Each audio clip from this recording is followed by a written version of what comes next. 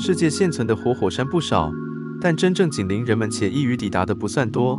日本九州阿苏山算是其一，其中的中岳火山目前更因喷发而管制中。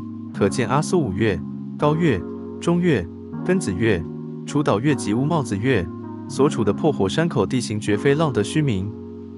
位于根子岳南麓的休霞村南阿苏，拉开窗帘就可以远眺连绵的阿苏五岳；立于度假村广场，更可以超广角的视野，欣赏眺望列明熊本县名胜百景第一位的根子岳绝景。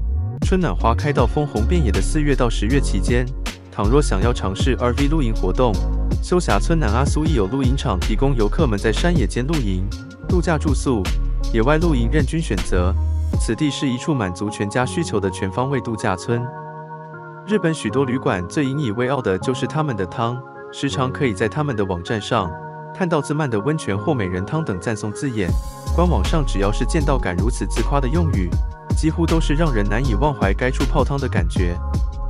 此行初次踏入休霞村南阿苏的室内浴池时，突然有一种很奇特的感觉，仿佛就像浸泡在油水之中的那种滑润感。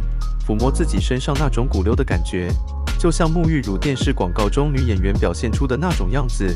如此形容，探官们应该可以想象得到吧？清早起床散步，望见被窝一大片山林的休霞村南阿苏，仿佛就要被大片云雾给吞噬一般。倘若您是位喜爱投身大自然的游客，这里应该算是一处物超所值的温泉旅馆，值得推荐给您。此地并非仅提供住宿而已。休霞村南阿苏是以一种度假村形态经营，自驾至此，纵然乌云罩顶，似乎大雨将至，但见到如此广阔的停车场，心情也就豁然开朗许多。休霞村南阿苏的建筑就是直接面对着阿苏五岳，像这个温泉浴池外面的休息空间，大面玻璃透着的就是阿苏五岳的无敌美景。除了网球场、吹球场等户外的运动设施，园方还特别为小朋友准备了各式玩具。让大人小孩在此都能享受一个愉快的假期。小朋友的游戏空间亦直接面对着阿苏山，让陪伴的大人除了看见小朋友天真无邪的玩乐笑容外，还可以欣赏窗外变化万千的美丽景致。纯合适的房间让此行五人可以共聚一间房，配用的房型亦相当足够让大家共处一室，完全不会有任何拥挤的感觉。前面榻榻米的睡觉区域后面。还有一块蛮大的空间供洗漱与置物之用，让住宿的空间可以有所区分，如此环境就不会觉得杂乱。休霞村不愧为体贴用心的旅馆，连充电延长线这种小事，他都可以想到附上这类具 USB 充电头的延长线。浸泡在室内浴池，享受那种滑润感；走出户外，踏入露天浴池，则可以同时欣赏名列阿苏五岳的根子岳美景。舒服的住宿环境。自慢的温泉泉质与令人难忘的美食外，度假村还拥有大片的绿色草地及各种球类运动的场地等。无奈季节因素，冬天仅能见到一大片枯黄的草地。一处简单的露营区或是度假村，最基本应该具备什么条件呢？答案或许人人不同。若要问我的想法，答案应该是不到。地处根子越南路的休霞村南阿苏，最与众不同的独特条件。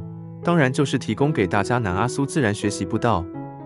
南阿苏自然学习步道相当好走，无需特别的人为指引，顺着路跑明显的指标方向前进即可。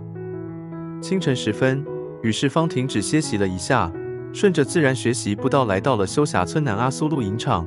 虽然此时并非营运季节，但身为资深路客的我，焉有不入内造访的理由？露营场区图上标示着。美しい自然の中で楽しい時間をお過ごしください。草木樹木、植物、野鳥を大切にしましょう。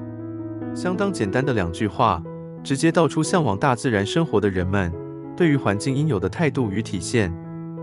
严寒的冬季至此，见到绿色广场前的这个大型室内休憩区，突然想起多次雨天露营的甘苦回忆。